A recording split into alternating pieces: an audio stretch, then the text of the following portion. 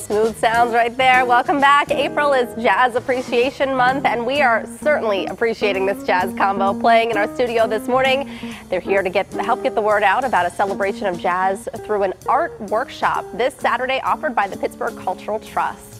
It's called Jazz Collage, and teaching artist Allison Babushi is here to tell us what exactly that is. Good morning. Good morning. So this is a really neat event. I, I had to ask you exactly how it correlates to How the music. yeah. So what is it? Tell me a little bit more. So we've done it. it in the past without the live jazz, just listening to jazz as we paint and create our artwork. But we had the fantastic idea this year of including a live jazz sort of component.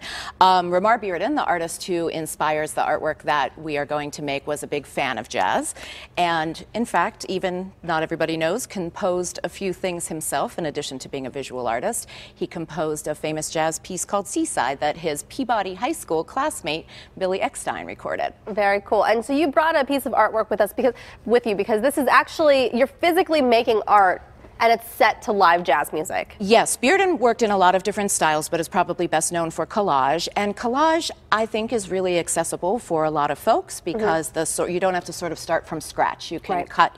So first, we do just sort of a underpainting um, while listening to the live jazz to kind of inspire a mood for our painting. They'll do an underpainting, and then you can see we use tissue paper, music, uh, sheet music, and all kinds of different shapes to sort of create their jazz scene on the canvas. But so I really walk them through each step, so no one has to you don't have to be Leonardo da Vinci to come to the workshop Yeah. um, and find some success. And so are you is the jazz supposed to inspire you? Is it Bearden? Is there are there any examples set around you to help you? Yes, well, Bearden frequently featured jazz musicians in his artwork, um, as he also featured his memories from Pittsburgh, his connections uh, visiting Pittsburgh as a youth.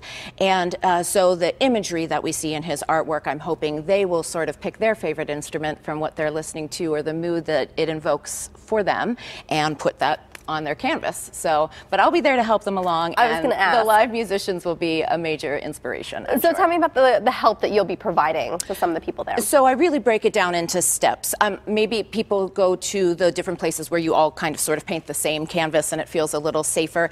I like that idea, but I don't want everyone to do the same thing because Right. to me that's that's not we want to all put a, a little piece of ourselves into our Right, I artwork. so. I encourage everybody, right, to um, work at a level that's comfortable for them and really use imagery that has some meaning for them, so that they're they have a real connection to their artwork. And really, even Bearden in some of his collages, if you look at the people, they're very simple geometric geometric shapes that he's cut out and put on the canvas. So it's you know everyone can make an oval, everyone can make a rectangle. So we we really break it down from there, and then we just uh, go crazy with color and our our feelings inspired by the music. So. I was gonna say it's it's detail oriented, but it's also not. Yeah, Yeah. no, you notice there's no face. Right. Right, That's right. one of the hardest things in art. Like, oh, I can't make that face Right. look right.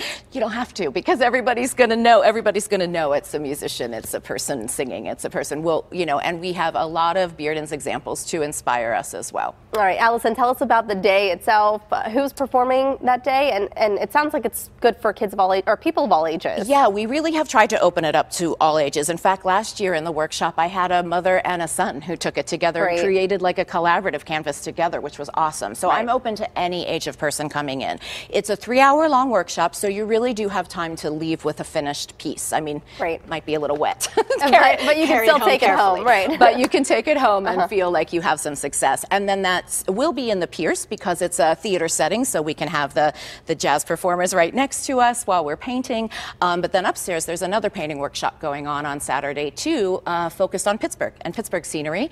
So people can choose what inspires them to make artwork on Saturday with And us. who's performing with you? Uh, the? Thomas Went and his quartet, I believe, will be. Great.